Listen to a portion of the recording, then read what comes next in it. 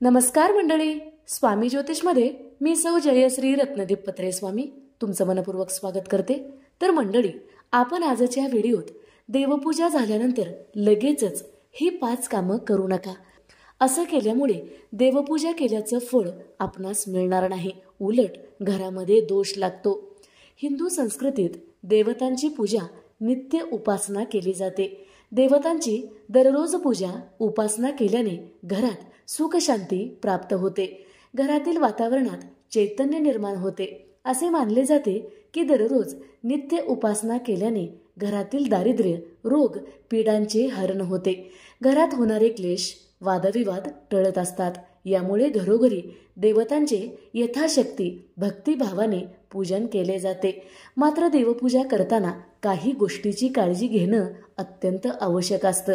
त्याचबरोबर देवपूजा झाल्यानंतर जर ही पाच कामं तुम्ही करत असाल तर देवपूजा केल्याचा कुठलाही लाभ आपणास मिळत नाही. आपण देवाची उपासना देवांचा आशीर्वाद मिळावा घरात सुखसमृद्धी कायम राहावी.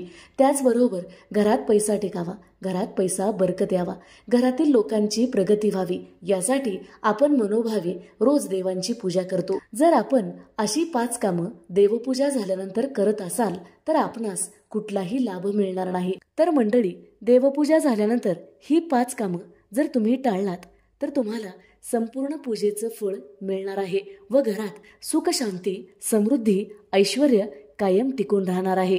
तर मंडळी आपण आजच्या व्हिडिओत पूजा केल्यानंतर किंवा मंत्रजाप केल्यानंतर ही पाच कामं कधीच करू नका. यामुळे पूजा केल्याचं पुण्य मिळणार नाही. देवापर्यंत ती पूजा पोहोचणारच नाही. तर अशा पूजेचा काहीच अर्थ नसतो.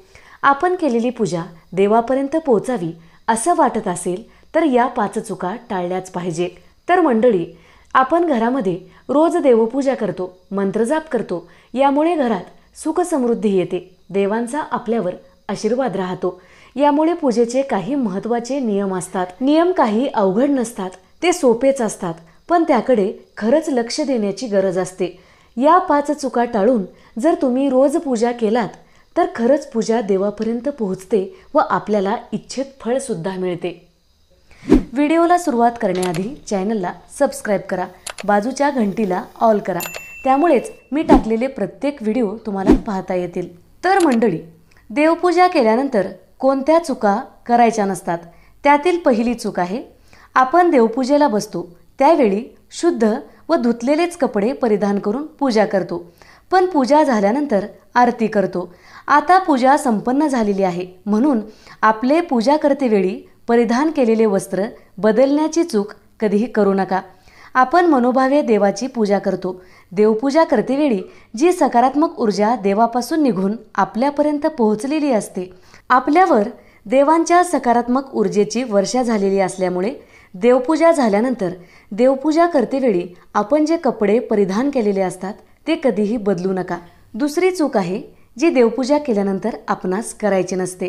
ती म्हणजे देवपूजा केल्यानंतर लगेचच हातपाय तोंड धुवू नका किंवा आंघोळ कधीही करू नये. आपण देवपूजा तर आंघोळ करूनच करतो पण देवपूजा केल्यानंतर हातपाय तोंड धुणेसुद्धा योग्य नाही. तर मंडळी देवपूजा करतेवेळी देवांची पवित्र शक्ती देवांची पवित्र नजर आपल्यावर पडलेली असते.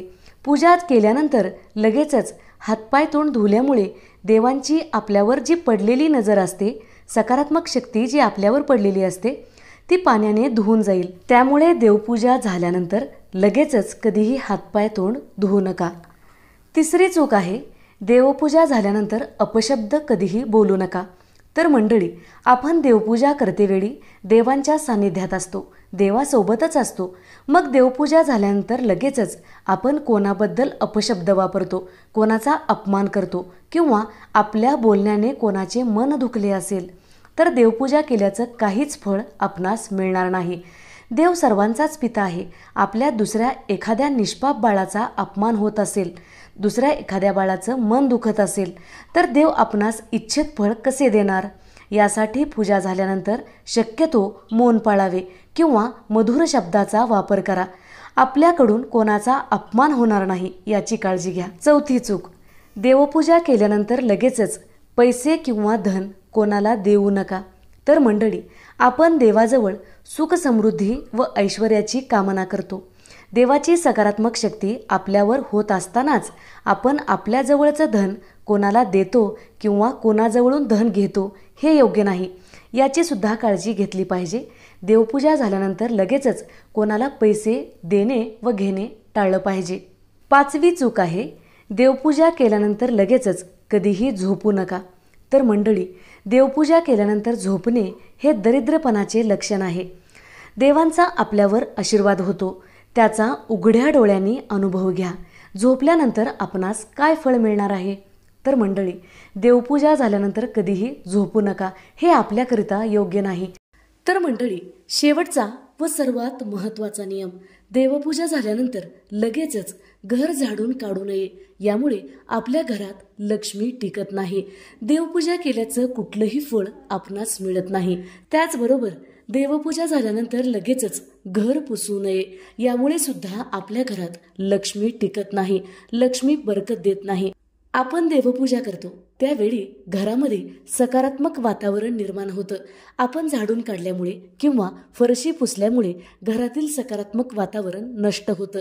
यासाठी देवपूजा झाल्यानंतर लगेचच झाडून काढणे किंवा फरशी पुसणे हे शुभ मानले जात नाही. हे दरिद्रपणाचे लक्षण मानले जाते. अशी पाच कामं जर तुम्ही देवपूजा केल्यानंतर करत असाल तर घरामध्ये सुखशांती समृद्धी टिकणार नाही व देवपूजा कितीही तुम्ही मनोभावे करत असाल तर त्या पूजेचं तुम्हाला कुठलंही फळ लाभणार नाही. यासाठी देवपूजा झाल्यानंतर या चुका तुम्ही कधीही करू नका. देवपूजा झाल्यानंतर कधीही हे पाच कार्य करू नका व आपल्या भाग्यावर याचा परिणाम होऊ देऊ नका. या चुका टाळून जर आपण सुखी व समाधानी होत असेल तर या चुका आपण नक्की टाळतो. कारण देवपूजेचं पूर्ण फळ मिळावं असं वाटत असेल तर या पाच चुका टाळल्याच पाहिजे. तरच तुम्हाला देवपूजेचं पूर्ण फळ मिळणार आहे. तर मंडळी व्हिडिओ आवडला असेल तर नक्की लाईक करा शेअर करा सबस्क्राईब करा बाजूच्या घंटीला ऑल करा. त्यामुळेच मी टाकलेले असेच नवनवीन व्हिडिओ तुम्हाला पाहता येतील.